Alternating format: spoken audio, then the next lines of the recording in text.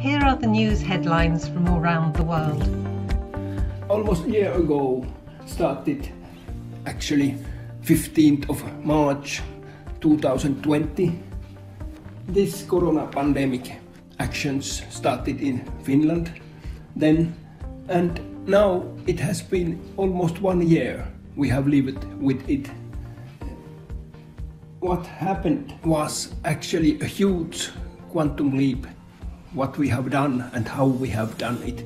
Most of the training sessions we have made distance learning and most of the consultancy we have done with distance. We haven't traveled a lot and actually we have been able to cope with that. The situation at the moment in the world, there has been over 100 million infection and more than 2.2 million who has died this coronavirus.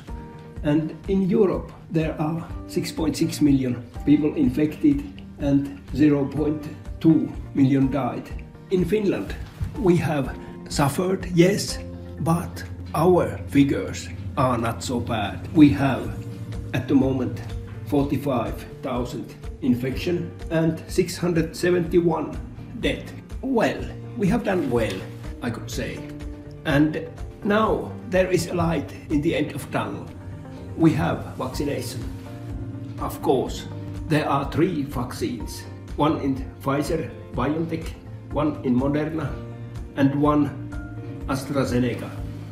And what is problem at the moment is that we cannot get as much vaccines what we have ordered. So question is how on earth big medicine companies can be so wrong with estimation.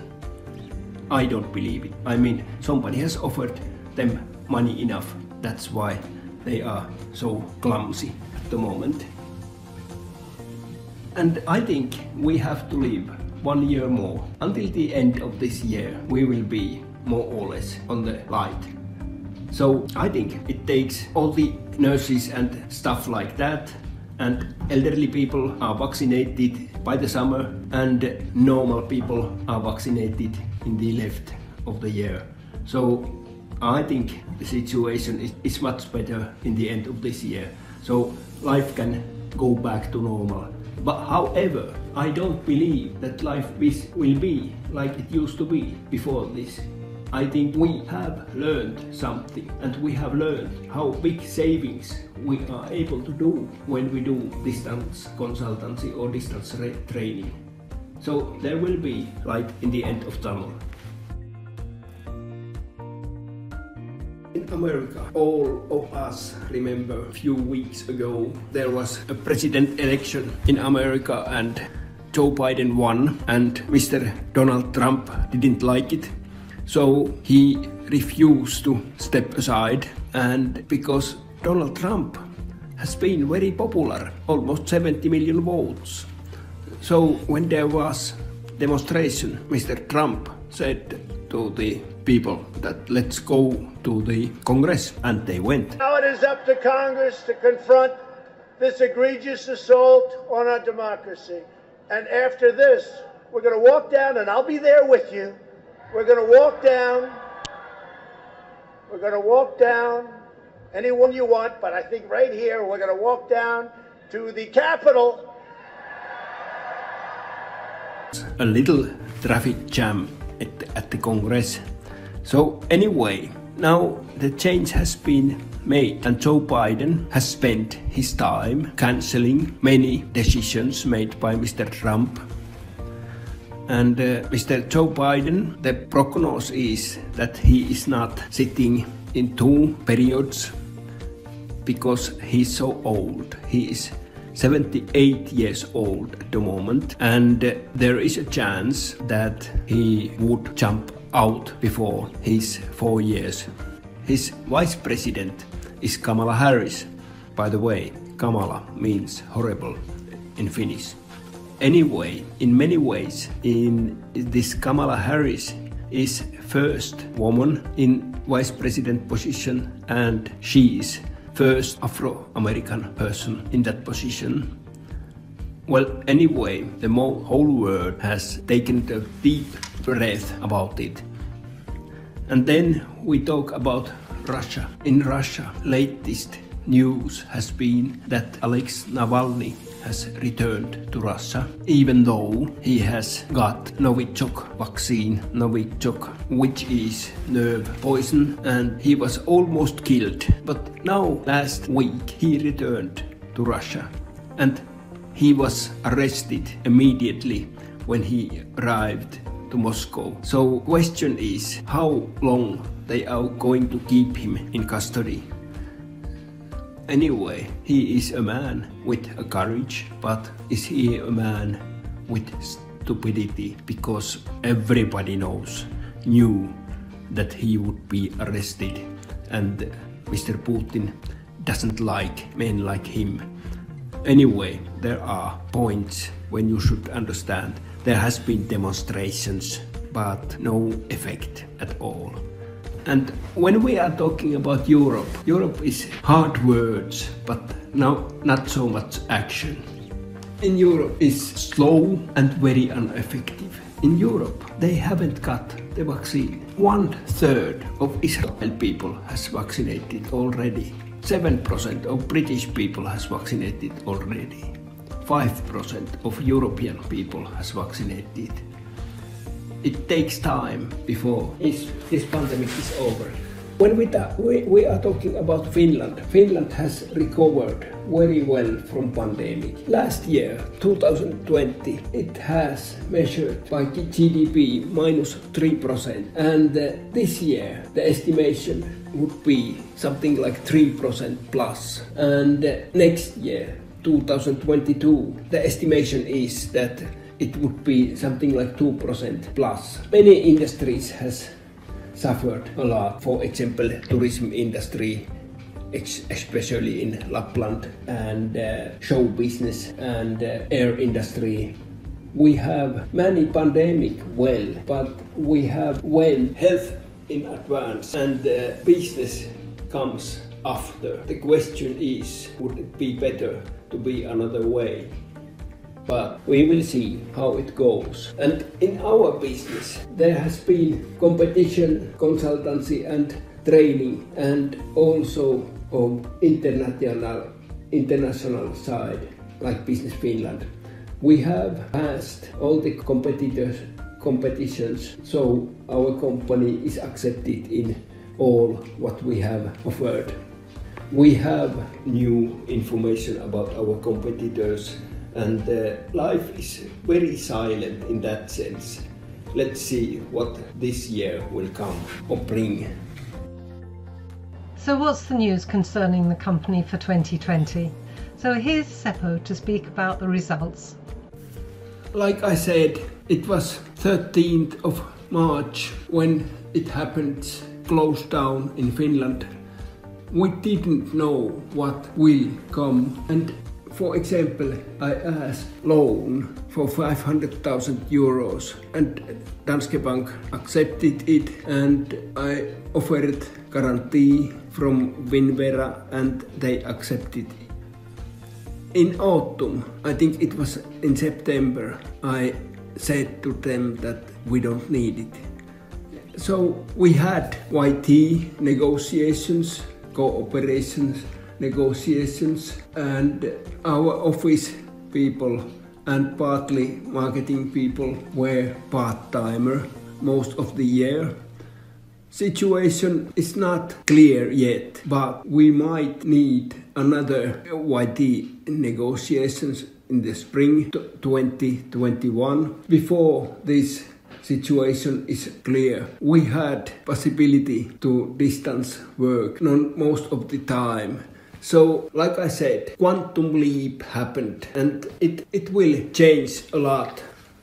However, when we talk about konsulttitoimisto Seppo Hoffren Oy consultancy, our mission statement is still the same. Our company's purpose is to help our clients to be more successful in their businesses, to provide market research, management training, and consultancy services and still our vision is same 2025 company's purpose is to grow. We will continue to expand in the SME sector. We remain one of the main players in the field in Finland. We are an international company. We operate in EU, in rest of Europe and in Russia. Our turnover will be approximately 10 million euros and there are approximately 100 people working in the company. Our business culture, our concept is Ruutanapera, which means simplicity, practicality, and valuing concrete over the theoretical.